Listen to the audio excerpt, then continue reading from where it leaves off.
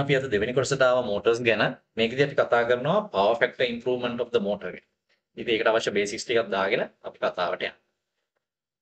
power factor ගැන කතා කරද්දී අපි දැනගන්න ඕන වෙනවා active power එක, reactive power එක සහ apparent power එක කියන්නේ මොකක්ද ඕනම සිස්ටම් එකක ප්‍රයෝජනයට ගන්න පුළුවන් දේ. අපි ගන්නකෝ මෝටර එකක නම් මෝටර එක අරගෙන මෙකැනිකල් පවර් එකත් ඊට පස්සේ එකෙන් ජෙනරේට් වෙන මොකක් හරි හීට් එකක් ඒක හානියක් වුණත් ඒක අපිට ෆීල් වෙන දෙයක් නම් අපි ඒක ඇක්ටිව් පවර් එක විදිහට සලකනවා. එතකොට අපි දෙන පවර් එකෙන් මීට අමතරව තව පහක් ටිකක් තියෙනවා රියැක්ටිව් පවර් කිය. මේ රියැක්ටිව් පවර් කියන එක ගොඩක් වෙලාවට එන්නේ කැපැසිටර් සහ ඉන්ඩක්ටර්ස් එහෙම නැත්නම් කොයිල් සහ කැපැසිටර්ස් තියෙන සර්කිට්ස් වලට.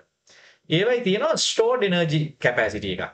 අපේ normal resistive circuits වලට වැඩිය තියෙනවා ඒගොල්ලන්ගේ එනර්ජි ස්ටෝර් වෙන මෙකනිසම් එකක්. ඒකත් එක්ක අපි ඒකට සප්ලයි කරන පවර් එකකින් කොටසක් ඒක ස්ටෝර් කරගෙන ඒ ස්ටෝර් කරගත්ත එකම ආපහු අපිට සප්ලයි එකට හම්බ වෙනවා. එතකොට මේ සප්ලයි කරගෙන මේ ස්ටෝර් කරගෙන ආපහු සප්ලයි එකට දෙන එක අපිට කිසි ප්‍රයෝජනවත් දෙයක් නෙමෙයි. ඒක නිකන් වෙන සිද්ධියක්, ඒතර සිද්ධාන්තයක්. ඒක නිසා අපි ඒකට කියනවා රියැක්ටිව් පවර් එක.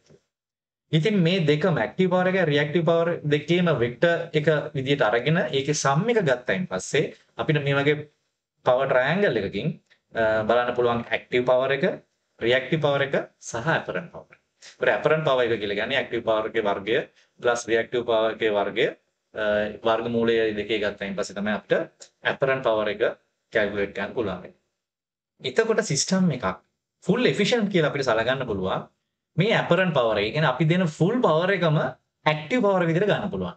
ඒ කියන්නේ මේකේ cos theta අගය එකක් වෙන්න. එහෙම නැත්නම් theta බිඳුවක් වෙන්න ඕන.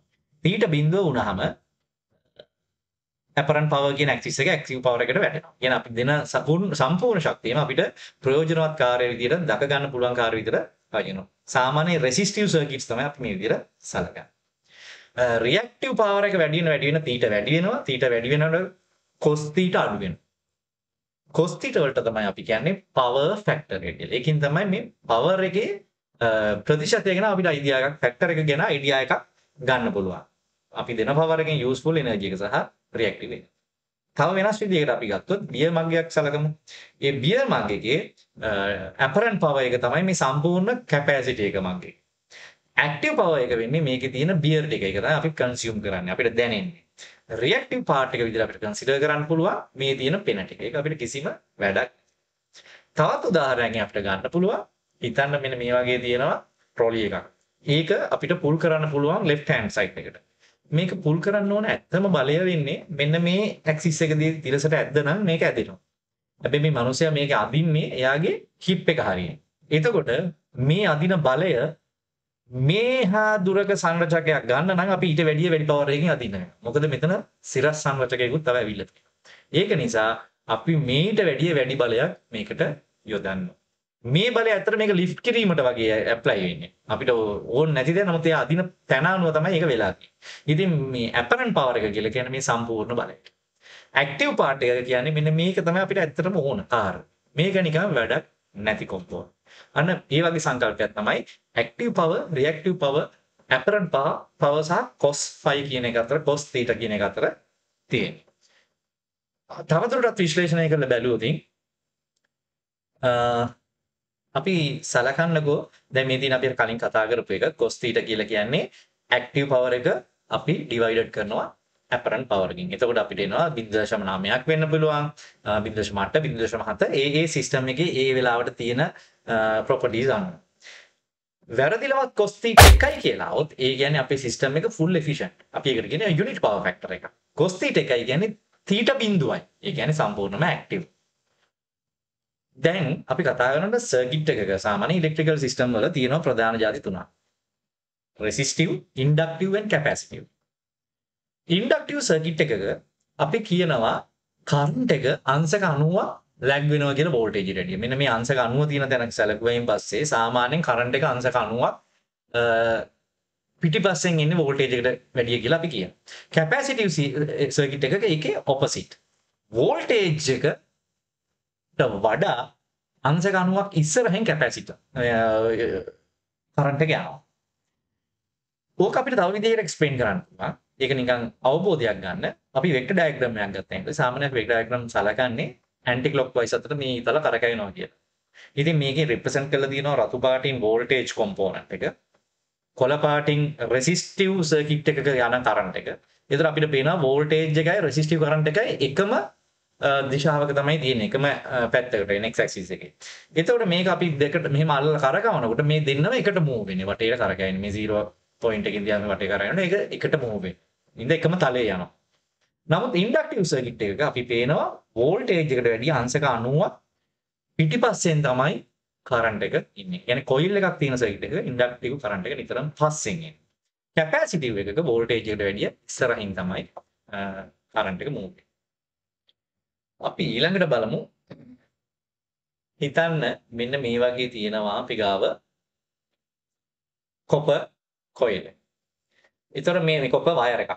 මේ වයර් එකට දැන් තියෙන්නේ අපි ගාව රෙසිස්ටන්ස් කියන ප්‍රොපර්ටි එක තමයි අපිට බේසිකලි දකින්න පුළුවන්. මේක දෙපැත්තෙන් මෙෂර් කරොත් ඔයාලට රෙසිස්ටන්ස් එක මැනගන්න පුළුවන්. ඔයා මේක දෙපැත්තට කරන්ට් එකක් ඇප්ලයි කරොත් ඔයාලට මේකේ මැග්නටික් ෆීල්ඩ් එකකට දකින්න හම්බෙන්නේ නැහැ දෙපැත්තට. නමුත් ඔයාලට ටික රස් මේක රත් වෙන්න පුළුවන් දෙන සප්ලයි එක කරන්ට් එක අනුව මේක රත් වීමක් ඔයාලට ඇක්ටිව් පවර් uh, එක විදිහට දකින්න පුළුවන්. ඉතින් ඒතර කොපර් වයර් එක රෙසිස්ටන්ස් එකක් තියෙනවා. ඉතින් මේ ප්‍රොපර්ටි එක රෙසිස්ටන්ස් කියන ප්‍රොපර්ටි එක විතරක් තියෙන්නේ නැහැ. ඔයා වැරදිලවත් මේක කොයිල් එකක් කරනවා. අපි හිතමු මේකෙන් දැන් අපි කොයිල් එකක් හදනවා. මෙන්න මේ විදිහට. මේක කොයිල් එකක් කළා පමණින්ම මේකට කලින් තිබිච්ච රෙසිස්ටන්ස් පාර්ට් එක රෙසිස්ටිව් පාර්ට් එක එහෙම තියෙනවා. මේකේ තිබිච්ච රෙසිස්ටිව් වැලියු එක මෙතන දෙපැත්තේ තියෙනවා. ඒ රෙසිස්ටන්ස් පාර්ට් එක තියෙනවා. ඊට අමතරව මෙයාට තව අමලු ප්‍රොපර්ටි එකක් එකතු වෙනවා මේ කොයිල් කිරීම නිසා. මෙයාට හැකියාවක් එනවා මැග්නටික් ෆීල්ඩ් එකක් ප්‍රොඩියුස් කරගන්න. ඒ කියන්නේ එනර්ජි එකක් ස්ටෝර් කරගැනීමේ හැකියාවක් තියෙනවා. ඒකට අපි කියනවා ඉන්ඩක්ටන්ස් එක කියලා. මේ වගේම ප්‍රොපර්ටි එකක් තියෙනවා කැපැසිටර්ස් වලට. ඒකට අපි ඒකට කියනවා කැපැසිටන්ස් එක. අපි අද කතා කරන්න යන්නේ මෝටර්ස් නිසා අපි කතා කරමු මේ කොයිල් එකක තියෙන resistance and inductance කියන පාර්ට් එක. ඉතින් ඔයා කරන්ට් එකක් දුන්නායින් පස්සේ සයින් වේව් එකේ ප්ලස් මයිනස් වෙනස් වෙන විදිහට බිඳුවේ ඉඳන් අංශක 90ක් දක්වා යනකොට ඔයාගේ පොසිටිව් හාෆ් එක ෆුල් වැඩි වෙනකොට මේකේ මැග්නටික් ප්‍රොඩියුස් වෙන මැග්නටික් ෆීල්ඩ් එක මැක්සිමම් වෙනවා. ඊට පස්සේ අනිත් පැත්තට මැග්නටික් ෆීල්ඩ් එක අඩු වෙනවා. ඒ විදිහට තමයි මේක දුවන්නේ. දැන් අපි මේක දැමුවොත් සර්කිට් එකකට අපිට කන්සිඩර් කරන්න පුළුවන් මේ කොයිල් එක රෙසිස්ටන්ස් එක ප්ලස් ඉන්ඩක්ටර් එක කියන එක සීරීස් විදිහට තියෙනවා. එතකොට දැන් මේ ඕනම කොම්පොනන්ට් එකක තියෙනනේ ධාරාව ගලාගෙන යන එකට විරුද්ධ රෙසිස්ටන්ස් එකක් ප්‍රතිරෝධකයක්. ඒක අපි රෙසිස්ටන්ස් කියලා තවදුරටත් අඳුන්වන්නේ නැහැ මෙහෙම ඉන්ඩක්ටර් එකක් විදිහට සැලකුවා. මොකද මේක රෙසිස්ටන්ස් එකක් විදිහට නෙමෙයි වෙන ස්ටෝ එනර්ජි එක ස්ටෝ කිරීමේ විදිහට තමයි මේ කරන්ට් එක අඩු වෙන්නේ. ඒතර මේකට තියෙනවා රෙසිස්ටිව් පාර්ට් එක ප්ලස් ඉන්ඩක්ටිව් පාර්ට් එක. අපි R අකුරෙන් රෙසිස්ටන්ස් එක සලකනවා. L අකුරෙන් ඉන්ඩක්ටන්ස් එක. මේකේ ඒකකේ ඕම්ස් මේකේ හෙන්රි. එතකොට අපි මේ දෙකෙන්ම එන බලපෑම අපි හඳුන්වන්නේ ටර්ම් එකකින් ඒකට කියනවා ඉම්පිඩන්ස් එකට. ඉම්පිඩන්ස් එක. එතකොට ඉම්පිඩන්ස් එක තමයි නිකන් අපි මේ මේ වයර් එක නම් ඕනම රෙසිස්ටර් එක රෙසිස්ටන්ස් එක විදිහට අපි මේ කොයිල් එක හඳුන්වන්නේ එහෙම නැත්නම් කැපැසිටර් එකක් තිබුණොත් අපි හඳුන්වන්නේ ඉම්පිඩන්ස්. මේ ඉම්පිඩන්ස් එක ගණන් හදන්නේ සිම්ප්ලි මේ දෙක එකතු කරලා බෑ. ඒකට මේ වගේ අපිට වෙක්ටර් ඩයග්‍රෑම් එකක් ඕන. එතකොට මේකේ තියෙන රෙසිස්ටන්ස් වැලියු එක ඒකට සාපේක්ෂව මෙයාගේ තියෙන මේ ඉන්ඩක්ටන්ස් කියන මේ වැලියු එකේ හෙන්රි වලින් එන වැලියු එක වෙනම සමීකරණයක් තියෙනවා. මේ සමීකරණයට දැම්මහම අපිට රියැක්ටන්ස් කියන ප්‍රොපර්ටි එක ගන්න පුළුවන් මෙන්න මේක. මේ කොයිල් එකේ. ඒ තමයි XL කියන්නේ රියැක්ටන්ස් එක. ඒක සමානයි 25FL. 25 කියන්නේ නියතයක් F කියලා කියන්නේ අපි මේකට දෙන කරන්ට් එක. මේ කොයිල් එක හරහා යන කරන්ට් එක මොනම හරි හේතුවක් නිසා මේක යනවා නම් කරන්ට් එකක්. ඒ කරන්ට් එක ඕල්ටර්නේටිං කරන්ට් එකක් නක්. ප්‍රත්‍යවර්ත ධාරාවක් නම් ඒකේ ෆ්‍රීකවෙන්සි එක. ඒක වෙනස් වෙන වාර ගන්න. ඒ ෆ්‍රීකවෙන්සි එක වැඩි කිරීම මේකේ තියෙන ඉන්ඩක්ටන්ස් එක. මේ කොයිල් එකට තියෙන හෙන්රි වලින් වැලියු එකක්. ඉන්ඩක්ටන්ස් එක. මේ තුන මෙන්න මේ සමීකරණයෙන් අපිට පුළුවන් රියැක්ටන්ස් කියන එක ගන්න.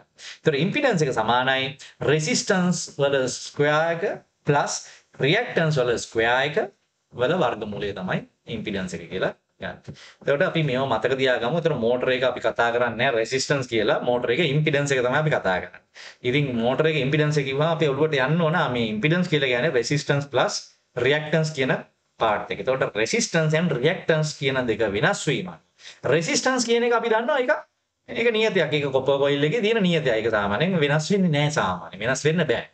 නමුත් මේ රියක්ටන්ස් කියන එක ඩිපෙන්ඩ් වෙනවා ෆ්‍රීකවෙන්සි එක මත. මේ කොයිල් එක කරහා යන ෆ්‍රීකවෙන්සි එක මත. අන්න ඒක නිසා මේක ගොඩක් බලපානවා පවර් ෆැක්ටර් එක ඉම්ප්‍රූව්මන්ට් වීම සහ පවර් ෆැක්ටර් එකේ වෙනස් වීම. අපි බලමු ඒක වෙන්නේ කොහොමද කියලා. දැන් මම බේසිකලි අඳුර ගන්න රියැක්ටිව් පවර් එක ගැන තවදුරටත් කතා කරන්න. මෙන්න මෙහෙම හිතමුකෝ. අපි AC සප්ලයි එකක් දීලා තියෙනවා කොයිල් එකට. මේකේ ප්ලස් පැත්තට යනකොට අපි හිතමු මේකේ ධාරාව යනකොට මේකේ මැග්නටික් ෆීල්ඩ් එකක් හැදෙනවා. ඒ හැදෙන එක හැදෙන්නේ මෙන්න මේ අපි දෙන සප්ලයි ධාරාව. ඒක අපි මේ රතු පාටින් දාගෙන මේකට දෙන කරන්ට් එක. එතකොට මේ මැග්නටික් ෆීල්ඩ් එක හැදිලා ඒක නැති වෙනවා මේකේ ප්ලස් මයිනස් වෙනස් වෙනකොට. මොකද ප්ලස් දෙනකොට පොල මේක බිඳුවේ ඉඳන් අංශක 90ට මේ වේව් එක යනකොට මේකේ මැග්නටික් ෆීල්ඩ් එක ෆුල් වෙනවා. ඊට පස්සේ ආයි 90 ඉඳන් බිඳුවට එනකොට මැග්නටික් ෆීල්ඩ් එක ශ්‍රින්ක් වෙනවා. බිඳුවේ ඉඳන් මේක නෙගටිව් පැත්තට යනකොට පෝලරිටි එක වෙනස් වෙනවා මැග්නටික් ෆීල්ඩ් එකේ. ඊට පස්සේ ඒක වැඩි වෙනවා ආපහු 270ට යනකොට. 270 ඉඳන් 360ට එනකොට ආපහු ඒක ශ්‍රින්ක් වෙනවා. ඉතින් අපිට පේනවා මේකේ මැග්නටික් ෆීල්ඩ් එකක් ජෙනරේට් වෙනවා. ඒක එන්ලාර්ජ් වෙනවා. ඊට පස්සේ ආපහු ඒක ශ්‍රින්ක් වෙනවා. ඒකේ පොලරිටි එක මාරු වෙනවා. මේ විදිහට මැග්නටික් ෆීල්ඩ් එකේ වෙනසක් වෙනවා. විචලනයක් වෙනවා. කොපර් කොයිල් එකක් මැග්නටික් ක්ෂේත්‍රයක විචලනයකට භාජනය වෙනවා නම් ඒ කොපර් කොයිල් එකෙන් ඉන්ඩියුස් වෙනවා EMF එකක්. ඒක ප්‍රොපර්ටි එකක්. අපි දෙන කරන්ට් එකට අමතරව මෙයාගෙන් කරන්ට් එකක් අනිත් පැත්තට ප්‍රොඩියුස් වෙනවා අපි ඒකට කියනවා බෑක් EMF එක කියලා මෙන්න මේ කොළ පාටින් පෙන්නේ බෑක් EMF එතකොට ආයේ හැදෙන බෑක් EMF එක අපි දෙන කරන්ට් එකට ඔපොසිට් පැත්තට හැදෙන. ඉතින් අපි ඕනම කොයිල් එකකට මෝටර එකකට වුණත් අපි සප්ලයි දෙනවනේ මෝටරේ කරකවා ගන්න. හැබැයි අපි දන්නේ නැතුව මේක මැග්නටික් ෆීල්ඩ් එකක් හැදෙනව නැති වෙනවා. ඒක අපිට වළක්වන්න බෑ. ඒක මේකේ තියෙන ප්‍රොපර්ටි එකක්. හැබැයි මේ මැග්නටික් ෆීල්ඩ් එක ඇතිවීම නැතිවීමටත් ගන්න කරන්ට් එක අපෙන් ගත්තට අපිට එයා ආපහු දෙනවා වගේ වැඩක්. ඒක නිසා මේක කොහෙවත් අපිට පේන ලොස් එකක් විතර දැනෙන්නේ නැහැ. නමුත් ඇත්තට මේකේ ඇති දෙයක්වත් නැහැ. ඒක නිසා අපි මේකට කියන්නේ රියැක්ටිව් පවර් එක කියලා. මේකේ ලොස් එක වෙන්නේ මෙහෙමයි. මේ වගේ රියැක්ටිව් කරන්ට්ස් වැඩි වෙන වැඩි වෙන්න ඒව යන්නේ කොපර් කන්ඩක්ටර් සරහනේ මේ කරන්ට් එක. අන්න එහෙම ගියාම මේ කරන්ට් එක ෆ්ලෝ වීම නිසා අපිට I ස්ක්වයර්ඩ් R වෙනම පවර් ලොස් එකක් වෙනවා. ඒක තමයි අපිට මේකේ තියෙන අවාසිය. නැත්නම් මේකේ තියෙන මැග්නටික් ෆීල්ඩ් එක හැදෙනවා. ඒක අපිට ආයි හම්බ වෙනවා. නමුත් ඉතින් අපි ගන්න ඇක්ටිව් පාර්ට් එකට අමතරව මේ මැග්නටික් ෆීල්ඩ් එක හැදෙන්න ඕන පවර් එක අපේ ජෙනරේටරේට හරි මොකට හරි කැපබිලිටි එක තියෙන්න ඕන සප්ලයි කරන්න. අපි ඒකට කියනවා apparent power එක කියලා. මේ තියෙන්නේ ඒකෙම සිද්ධාන්තයක්. reactive power. Reactive power is the energy circulating back forth between the source and the load. මේ අපේ ජෙනරේටර් එක නම් ජෙනරේටර් එකේ ඉඳන් මෝටරේට යනවා සප්ලයි එක බෑක් EMF එක නිසා ආයි අනිත් පැත්තට එනවා. ඒක දෙපැත්තට සර්කියුලේට් වෙනවා. ඒකෙන් කිසි ප්‍රයෝජනයක් නැහැ. In our case the load is an induction motor. Energy stored in the motor magnetic field is transferred to and form source every time the polarity of the magnetic field reverses. ඔන්න දැන් reactive power එක ගැන අපිට හොඳ idea එකක් ආවා. තවදුරටත් idea එකක් ගන්න පුළුවන් ඉන්ඩක්ටර් එකක වෝල්ටේජ් එක මෙහෙම බිහේව් වෙනවා. කරන්ට් එක වෝල්ටේජ් එක අංශ 90ක් වෙනකොට කරන්ට් එක බිඳුවයි. අංශ 90ක් වෙනස් වෙලානේ යනවා කිව්වේ මං වෙලක් වෙලා. එතකොට අපි හිතමු මෙන්න මේ අවස්ථාවේදී මේකේ වෝල්ටේජ් එක පොසිටිව් කරන්ට් එක පොසිටිව් VI ගුණිතය පවර් එක පොසිටිව්. මේ හරියදිත් එහෙමයි පොසිටිව්. හැබැයි මෙන්න මෙතනදී වෝල්ටේජ් එක නෙගටිව් කරන්ට් එක පොසිටිව් වෝල්ටේජ් and current ගුණිතය නෙගටිව්. එතකොට අංශක 180ක් යනකොට අපිට පොසිටිව් and නෙගටිව් කියලා කරන්ට් දෙකක් පවර් දෙකක් ඇවිල්ලා මේ පවර් එකයි මේ පවර් එකයි එකට එක කැපිලා යනවා. අන්තිමේදී අපිට බැලුවාම කිසිම පවර් කන්සම්ප්ෂන් එකකුත් නැහැ. අපිට ලැබීමකුත් නැහැ. ඒකයි මේක රියැක්ටිව් වෙන්නේ. නමුත් කොයිල් එකේම තියෙන මෝටර එකේ තියෙනවා රෙසිස්ටන්ස් පාර්ට් එකක්. ඒ රෙසිස්ටන්ස් පාර්ට් එකෙන් ඇක්ටිව් පාර්ට් එකෙන් මොකද වෙන්නේ? ඔන්න කරන්ට් එක යනවා වෝල්ටේජ් එක යනවා වෝල්ටේජ් එක යන ප්ලේන් එකේම ඒ කරන්ට් එක යන්නේ. මේක ප්ලස් sorry මේක ප්ලස් මේක ප්ලස් ප්ලස් ප්ලස් ඔන්න මෙතන ප්ලස්. ඊළඟ අවස්ථාවේ මේක මයිනස් මේක minus minus into minus again plus. අන්න අපිට වෝල්ට් වලින් එනවා පවර් එකක්. මේ අවස්ථාවේදී අපිට කැල්කියුලේට් කරන්න පුළුවන් පවර් එකක්. ඉතින් මේ තියෙන්නේ අපි අර කලින් කතා කරපු ඉම්පිඩන්ස් ට්‍රයැන්ගල් එකමයි. සමහරවිට මේකේ රියැක්ටන්ස් කියන එක අපිට කැපැසිටි සර්කිට් එකක් තිබුණොත් XL XC කියලා තව කෑල්ලක් දාලා තමයි සම්පූර්ණ රියැක්ටන්ස් එක ගණන් හදන්න. ඔන්න මතක තියාගන්න රියැක්ටන්ස් කියන එක හරි ඉම්පෝර්ටන්ට් මෝටර එක ඒක තීරණය වෙනවා ඒ කොයිල් එක හරහා යන ධාරාවේ ෆ්‍රීකවෙන්සි. ඒ පොයින්ට් එක මතක තියාගන්න මේක අපිට ඕන වෙනවා පවර් ෆැක්ටර් ඉම්ප්‍රූව්මන්ට් ගැන. දැන් ඔන්න අපේ තියෙනවා මෝටර එකක්. හිතන්න මේ මෝටර එක ස්ටේටර් එක තමයි මේ කළු පාටින් තියෙන්නේ. රූටර් එක තමයි මේ රතු පාටින් සම්පූර්ණයෙන්ම තියෙන්නේ. දැන් මේක කරකැවෙනකොට මම පළවෙනි එකේ කිව්වා ස්ටේටර් එකේ තියෙනවා සින්ක්‍රොනස් ස්පීඩ් එකක්. ඒක අපි හිතමු ns කියලා. ඒක තමයි රොටේටිං මැග්නටික් ෆීල්ඩ් එකේ ස්පීඩ් එක. ඔන්න ටිකකින් මෙයා මේ මැග්නටික් මේක පුල් කරලා ඔන්න මෙයාගේ මැග්නටික් ෆීල්ඩ් එළිය දින මැග්නටික් ෆීල්ඩ් එක මෙයා කරකැවෙන්න ගන්නවා ඇදගෙන දුවන්න. මම කිව්වා normal induction motor එක නම් synchronous speed එකට වැඩිය අඩු speed එකකින් තමයි rotor එක කරකැවෙන්නේ. ඒ දෙක අතර වෙනසට අපි කියනවා slip එක කියලා. ඒතර slip එකට සමීකරණයක් තියෙනවා synchronous speed එක minus rotor speed එක divided by synchronous speed එක. ප්‍රතිශතයක් විදිහට ගත්තාම අපි slip එක විදිහට කියනවා. නිතරම rotor speed එක අඩුයි synchronous speed එකට වැඩිය. ඒකයි slip එකක් තියෙනවා කියලා කියන්නේ. ඉතින් මේ ස්ලිප් එකත් එක්ක දැන් ඔන්න හරි අමුතු දෙයක් තියෙනවා. මොකද්ද? මේකේ තියෙන්නේ මේ රොටර් එකේ තියෙන්නේ කිසියම් සර්කිට් එකක්. අපිට ඒක කන්සිඩර් කරන්න පුළුවන් නිකන් කොයිල් එකක්. ඒ කියන්නේ මේකේ රෙසිස්ටන්ස් පාර්ට් එකකුත් තියෙනවා, ඉන්ඩක්ටිව් පාර්ට් එකකුත් තියෙනවා. අපි දන්නවා මේකේ මැග්නටික් රියැක්ෂන් එකෙන් රොටර් එකේ කිසියම් කරන්ට් එකක් ඉන්ඩියුස් වෙනවා. කරන්ට් එකක් ඉන්ඩියුස් වෙනවා නම් රෙසිස්ටන්ස් ඉන්ඩක්ෂන්ස් කියන ප්‍රොපර්ටිස් දෙක තියෙනවා නම් අපි දැන් දන්නවා මේකට තියෙනවා රෙසිස්ටන්ස් ප්ලස් රියක්ටන්ස් කියන ප්‍රොපර්ටිස් දෙක. එතකොට හිතන්න මෝටරේට සප්ලයි දෙන පළවෙනි මොහොත ඉන්ස්ටන්ට් එක. ඒ පළවෙනි මොහොතේදී රොටර් එක ස්ටේෂනරි. හැබැයි ඔයාගේ ස්ටේටර් එකේ මැක්සිමම් රොටේටිං ස්පීඩ් එකක් තියෙනවා. අන්නේ මැක්සිමම් රොටේටිං ස්පීඩ් එක තියෙන වෙලාවේ රොටර් එකට සාපේක්ෂව අපි ස්ටේටර් එකේ මැග්නටික් ෆීල්ඩ් එක බැලුවොත් ඒ වෙලාවේ ස්ලිප් එක මැක්සිමම් මැක්සිමම් ස්ලිප් ෆ්‍රීකවන්සි එකක් තියෙනවා මේ මොහොතේ. නැවතිලා තියෙන මොහොතේ. අපි ඒ වෙලාවේදී කියනවා වෙලාවේදී ස්ලිප් ෆ්‍රීකවන්සි එක මැක්සිමම්. හැබැයි ටික ටික මෙයා රොටර් එක ස්පීඩ් එක කරකැවෙන්න කරකැවෙන්න මොකද වෙන්නේ? මෙයා ටික ටික ලං වෙනවා සින්ක්‍රොනස් ස්පීඩ් එකට. එතකොට ස්ලිප් ෆ්‍රීකවන්සි කියන එක එන්න එන්න අඩු වෙනවා. මොකක්ද මේකේ තියෙන වැදගත්කම? මේ රොටර් එක දැන් මෙහෙම තියෙනකොට ස්ටේෂනරි වටේ තියෙන මැග්නටික් ෆීල්ඩ් එක වෙනස් වෙනවා නම් ඒ මැග්නටික් ෆීල්ඩ් එක වෙනස් වීම මතනේ මේකේ කන්ඩක්ටර්ස් කැපිලා මේකේ කරන්ට් එකක් හැදෙන්නේ ඉන්ඩියුස් වෙන්නේ. එතකොට ඒ අතර ස්ලිප් ෆ්‍රීකවෙන්සි එක ගොඩාක් වැඩි නම් මේකේ ලොකු කරන්ට් එකක් ඉන්ඩියුස් වෙනවා. මෙයා ලොකු කරන්ට් එකක් ඇබ්සෝබ් කරනවා. එන්න එන්න ස්ලිප් එක රිකවර් වෙන්න රිකවර් වෙන්න ස්පීඩ් එක ගේන් වෙන්න ගේන් වෙන්න ස්ලිප් ෆ්‍රීකවෙන්සි එක අඩු වෙනවා. එතකොට ඔන්න මතක තියාගන්න පොයින්ට් එක. ස්ටාර්ටින් පොයින්ට් එකේදී රොටර්ස් ස්පීඩ් එක බිඳුවයි ෆ්ලක්ස් කටින් ෆ්‍රීකවෙන්සි එක. එහෙම නැත්නම් ස්ලිප් ස්පීඩ් එක ස්ලිප් ෆ්‍රීකවෙන්සි එක මැක්ස් ওই පොයින්ට් එක මතක තියාගන්න අපි ඊළඟ එකට යන්න. දැන් ඔන්න අපි ගමු මෝටරේ ස්ටාර්ටින් අවස්ථාව. මේ 0% ස්ටාර්ට් වෙලා. දැන් අපි හිතමු ටික ටික මෝටර එක ස්ටාර්ට් කරලා ඔන්න මෝටරේ මේ පැත්තට ස්පීඩ් එක වැඩි වෙගෙන වැඩි වෙගෙන වැඩි වෙගෙන යන්න ගන්න. ඔන්න ඔය විදිහට වැඩි වෙනවා කියලා හිතමු. බිඳුවෙන් පටන් අරන් රොටර් ස්පීඩ් එක. බිඳුවේදී අපි දන්නවා මේ ඇඳලා තියෙන්නේ රොටර් එක. මෝටර එක රොටර් එකක තියෙන ඉම්පිඩන්ස් ට්‍රයැන්ගල් එක. කොයිල් එකක් තියෙනවා නම් අපි හිතමු කොයිල් එකක් විදිහට කන්සිඩර් කරොත් මෝටරේ රොටර් එක ඔන්න ඒකට රෙසිස්ටන්ස් වැලියු එකක් තියෙනවා. ඉනිෂියලි අපි හිතමු යාට කිසියම් රියැක්ටන්ස් වැලියු එකකුත් තියෙනවා. කොයිල් එකක්නේ රියැක්ටන්ස් වැලියු එකකුත් තියෙනවා. මේ රියක්ටන්ස් බැලිවකට මම සමීකරණයක් කලින් කිව්වා මොකද්ද 25FL කියලා 25FL කියලා සමීකරණයක් කිව්වා. එතකොට 25FL කියලා සමීකරණය දැන් අපි ගත්තායින් පස්සේ මෙතන 25FL මෙතන F කියන්නේ මොකක්ද මේ තමයි ස්ලිප් ෆ්‍රීකවෙන්සි එක. මොකද රොටර් එකේ ඉන්ඩියුස් වෙන්න ෆ්ලෝ වෙන්න යන කරන්ට් එක වෙන්නේ යාගේ ඉන්ඩියුස් වෙන කරන්ට් එක.